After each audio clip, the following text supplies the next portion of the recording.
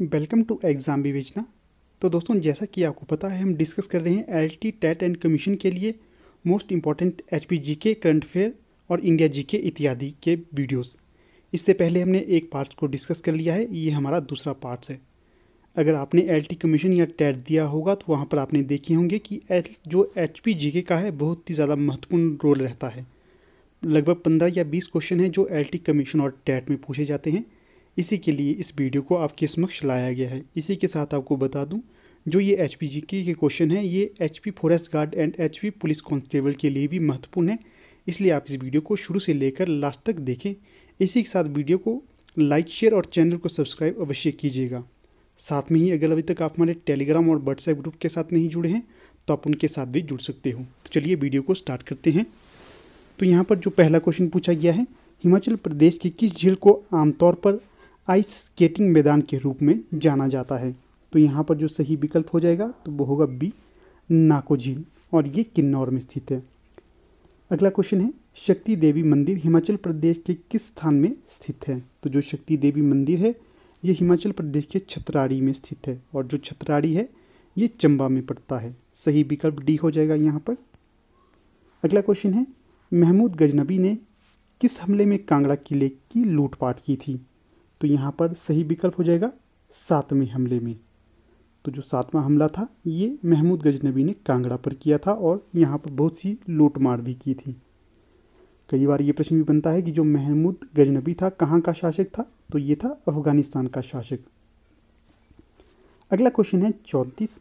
सेनापति बेंचूरा के नेतृत्व में सिख सेना को किस वर्ष मंडी भेजा गया था? तो ये भेजा गया था अठारह सौ उनतालीस में। ठीक है, याद रखिएगा।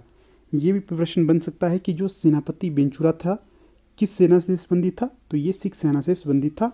और ये भी प्रश्न बन सकता है कि सेनापति बेंचुरा हिमाचल प्रदेश के किस स्थान में आया था? तो ये मंडी में आया था और कब आया था? 1839 में। याद रखिएगा, इस तरह से प्रश्न घुमा फिरा कर पूछे जाते हैं।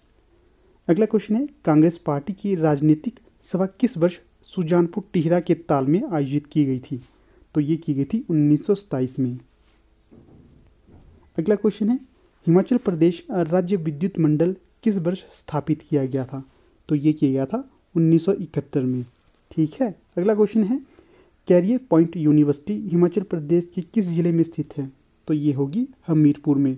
आपको यहाँ बता देता हूँ, जो भी बच्चे एल टी कमीशन या एल टी टेट की तैयारी कर रहे हों, उन्हें हिमाचल प्रदेश में जितनी भी प्राइवेट यूनिवर्सिटी है, उस टॉपिक को एक बार अवश्य देख लेना है, क्योंकि यहाँ से प्रश्न अवश्य बनता है। अगला क्वेश्चन है, मारकंडा मेला हिमाचल प्रदेश के किस ज़िले में मनाया जाता है? तो ये मनाया जाता है बिलासपुर में। अगला क्वेश्चन है, प्रसिद्ध छतरारी यात्रा हिमाचल प्रदेश के किस ज़िले से निकलती है? तो देखिए, अभी हमने छतरारी मेला पढ़ा था और यहाँ पर जो छतरारी यात्रा है तो ये चंबा से निकलती है। यहाँ पर सही विकल्प ए हो जाएगा। अगला क्वेश्चन है सोलह सिंगी धार हिमाचल प्रदेश के किस ज़िले में स्थित है? तो जो सोलह सिंगी धार है ये आपके हमीरपुर में स्थित होगी। यहाँ पर सही विकल्प सी हो जाएगा। अगला क्वेश्चन है पंद्रह। करेरी झील हिमाचल प्रदेश के किस ज़िले में स्थित है? तो दोस्तों, जो करेरी झील है, ये कांगड़ा में स्थित है। सही विकल्प यहाँ पर ए हो जाएगा। अगला क्वेश्चन है, लोसार मेला हिमाचल प्रदेश के किस ज़िले में मनाया जाता है? तो जो लोसार मेला है, ये आपके कांगड़ा में मनाया जाता है। सही विकल्प यहाँ पर बी हो जाएगा। अगला क्वेश्चन है यहाँ पर। विख्यात विभूति श्री लालचंद प्राथी हिमाचल प्रदेश के किस ज़िले के रहने वाले थे? तो ये थे कुल्लू के। यहाँ पर आपको प्रश्न दिखाई नहीं दे रहा होगा ब्लर हो गया है। मैं फिर से आपको पढ़ा के बता देता हूँ। यहाँ पर पूछा गया है कि विख्यात विभूति श्री लालचंद प्राथी हिमाचल प्रदेश के किस ज़िले के रहने वाले थे? तो ये थे कुल्लू के। तो कई बार ये प्रश्न भी बनता है कि जो लालचंद प्राथी कला केंद्र है, ये कहाँ पर स्थित है? तो ये भी कुल्लू में ही स्थित है। ये जो लालचंद प्रार्थी है, इनके याद में इसे बनाया गया है और ये ढालपुर में स्थित है। अगला क्वेश्चन है, अठारह। ताबो मठ हिमाचल प्रदेश के किस ज़िले में स्थित है? तो जो ताबो मठ है, ये हिमाचल प्रदेश के लाहौल स्पीति के काजा उपमंडल में स्थित है। यहाँ पर सही विकल्प ए हो जाएगा। आपके लिए एक प्रश्न छोड़ देता हूँ। आपको बताना है कि जो मसरूर रॉकेट टेम्पल्स हैं। ये हिमाचल प्रदेश के किस ज़िले में स्थित है और इन्हें किस नाम से भी जाना जाता है? ठीक है ना? आपको इसका उत्तर अवश्य देना है। अगला क्वेश्चन है, बिलासपुर नगर की स्थापना इनके द्वारा की गई थी। तो बताना है कि बिलासपुर नगर की स्थापना किनके द्वारा की गई थी? तो ये की गई थी राजा दीपचंद के द्वारा। सही विकल्प यहाँ पर बी हो जाएगा। अगला क्वेश्चन है, शिमला की यात्रा करने वाले भारत के पहले गवर्नर जनरल कौन थे? तो जो शिमला की यात्रा की थी भारत के पहले गवर्नर जनरल के द्वारा तो ये हो जाएँगे लॉर्ड एमहर्स्ट। सही विकल्प यहाँ पर डी हो जाएगा। अगला क्वेश्चन है, Bishop Cotton school Himachal Pradesh के किस ज़िले में स्थित है? प्रश्न इस प्रकार से भी बन सकता है कि जो बिशप कॉटन स्कूल है हिमाचल प्रदेश के किस ज़िले में स्थित है तो ये शिमला में है। यहाँ पर प्रश्न कुछ इस प्रकार से पूछा गया है कि जो बिशप कॉटन स्कूल है शिमला में स्थित है, इसको शिमला में कब शुरू किया गया था? तो ये किया गया था अठारह एडी में। कब किया गया था अठारह एडी में। और ये बिशप कॉटन स्कूल शिमला में है। इसे बीसीएस भी कहा जाता है शॉर्ट में। बी सी एस अगला क्वेश्चन है, कांगड़ा में सबसे पहले भूकंपीय आपदा कब आई थी? तो ये आई थी चार अप्रैल 1905 को। तो सीधे सीधे 1905 बोल सकते हैं, पर जो एग्जैक्ट डेट होगी वो होगी चार अप्रैल 1905 ठीक है ना? अगला क्वेश्चन है Himachal Pradesh board of school education किस वर्ष धर्मशाला में स्थानांतरित किया गया था? तो ये किया गया था उन्नीस सौ एडी में। इस वीडियो से पहले हमने एक वीडियो डिस्कस की थी उसमें पूछा गया था कि जो Himachal Pradesh board of school education है ये कहाँ पर स्थित है? तो यहाँ पर कांगड़ा ना था धर्मशाला का कांगड़ा। तो यहाँ पर इसकी तिथि पूछी गई है इस प्रकार आप देख सकते हैं। प्रश्न को किस प्रकार से घुमा फिराकर चौथा जाता है? चमेरी तीन पन बिजली परियोजना की कार्यान्वयन अभिकरण कौन सी है?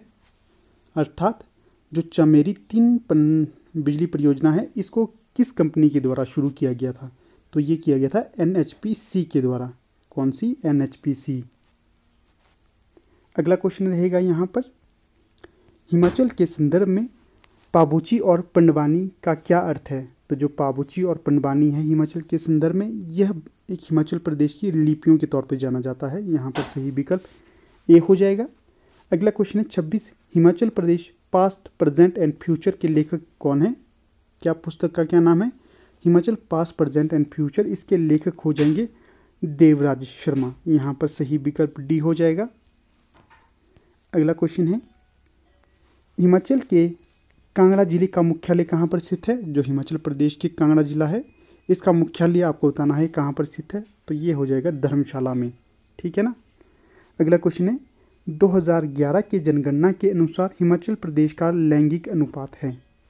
तो ये हमने पीछे भी पढ़ा था तो ये हो जाएगा नौ सात दो, नौ सौ बहत्तर। अगला क्वेश्चन है, इनमें से कौन सा हिमाचल प्रदेश का प्रशासनिक मंडल नहीं है? तो जो हिमाचल प्रदेश का प्रशासनिक मंडल नहीं होगा तो वो हो जाएगा हमीरपुर। बाकी कौन कौन से हैं? कांगड़ा, मंडी और शिमला। अगला क्वेश्चन यहाँ पर रहेगा, देवली, मत्स्य पालन केंद्र हिमाचल प्रदेश के किस ज़िले में स्थित है? तो जो देवली मत्स्य पालन केंद्र है, ये आपके बिलासपुर में स्थित हो जाएगा। तो कई बार ये प्रश्न भी बनता है कि जी, जो देवली है, कहाँ पर स्थित है? तो ये बिलासपुर में स्थित है। और ये किसके लिए प्रसिद्ध है? मत्स्य पालन के केंद्र के तौर पे ये प्रसिद्ध होगा अगला क्वेश्चन है, एटी हाथीधार हिमाचल प्रदेश के किस ज़िले में स्थित है? तो जो हाथीधार है, ये हिमाचल प्रदेश के चंबा ज़िले में स्थित है। याद रखिएगा, इंपॉर्टेंट है। आपको बताना है, सोलह सिंगी धार हिमाचल प्रदेश के किस ज़िले में स्थित है? ये प्रश्न आपके लिए छोड़ देता हूँ। अगला क्वेश्चन है, पहाड़ी गांधी बाबा काशीराम हिमाचल प्रदेश के किस ज़िले से संबंधित थे? तो ये थे कांगड़ा से। कौन? पहाड़ी गांधी बाबा काशीराम। अगला क्वेश्चन है, सोरांग झील हिमाचल प्रदेश के किस ज़िले में स्थित है? तो जो सोरांग झील है, ये हिमाचल प्रदेश के किन्नौर ज़िले में स्थित होगी। यहाँ पर जो सही विकल्प भी हो जाएगा। अगला क्वेश्चन देख लेते हैं। ये है डुंगरी मेला हिमाचल प्रदेश के किस ज़िले में मनाया जाता है? तो ये कुल्लू के मनाली में मनाया जाता है। याद रखिएगा इसको भी। अगला क्वेश्चन है, मुरंगला पर्वत शिखर हिमाचल प्रदेश के किस ज़िले में स्थित है? तो ये हो जाएगी लाहौल स्पीति में। अगला क्वेश्चन है, माहूनाग मेला हिमाचल प्रदेश के किस ज़िले में मनाया जाता है? तो जो माहूनाग मेला है, ये मंडी ज़िले में मनाया जाता है। अगला क्वेश्चन है, हिमाचल प्रदेश के प्रथम मुख्य न्यायाधीश कौन थे? तो ये हो जाएँगे जस्टिस एम एच बेग। कौन थे? Justice M H Beg. Important प्रश्न है, बहुत सी परीक्षा में से पूछा जाता है। अगला क्वेश्चन है, सबसे पुराना हिमाचली अखबार कौन सा है? तो दोस्तों, बहुत ही सुंदर प्रश्न है दोस्तों ये। तो ये हो जाएगा क्षेत्रीय तेज। जो क्षेत्रीय तेज है, ये हिमाचल प्रदेश का सबसे पुराना अखबार है। तो कई बार ये प्रश्न भी बनता है कि जो गिरिराज हिमाचल प्रदेश का न्यूज़पेपर है इसका संपादन या प्रकाशन कहाँ से होता है? तो ये होता है शिमला से। अगला क्वेश्चन है, हिमाचल प्रदेश के भज्जी अधिराज्य के संस्थापक कौन थे? तो हिमाचल प्रदेश की जो रियासत थी भज्जी, इसके संस्थापक का नाम था चारू राजा। सही विकल्प यहाँ पर ए हो जाएगा। अगला क्वेश्चन है, हिमाचल प्रदेश के नूरपुर राजशाही के आखिरी शासक कौन थे? तो ये हो जाएँगे वीर सिंह। सही विकल्प यहाँ पर ए हो जाएगा। अगला क्वेश्चन है, हिमाचल प्रदेश के किस तहसील में ताबो मठ स्थापित की गई थी? तो ये थी लाहौल स्पीति के काजा में। ये प्रश्न भी रिपीट है, पीछे हमने इसको डिस्कस किया था। अगला क्वेश्चन है, संसारचंद दो किस वर्ष कांगड़ा के राजा बने थे? तो जो संसारचंद दो थे तो ये कांगड़ा के राजा बने थे सतारह सौ पचहत्तर ए डी में। यहाँ पर सही विकल्प सी हो जाएगा। अगला क्वेश्चन है, हिमाचल प्रदेश पारसी राज्य किस वर्ष बना था? तो जो हिमाचल प्रदेश है, ये पारसी राज्य बना था। उन्नीस सौ इक्यावन ए डी में यहाँ पर सही विकल्प सी हो जाएगा। अगला क्वेश्चन है, हिमाचल प्रदेश पारसी राज्य कब बना था? तो ये बना था उन्नीस सौ इक्यावन में। अगला क्वेश्चन है, हिमाचल प्रदेश का कौन सा जिला आलू के उत्पादन में सबसे बड़े क्षेत्रफल वाला जिला है? तो ये हो जाएगा शिमला जिला। तो ठीक है ना?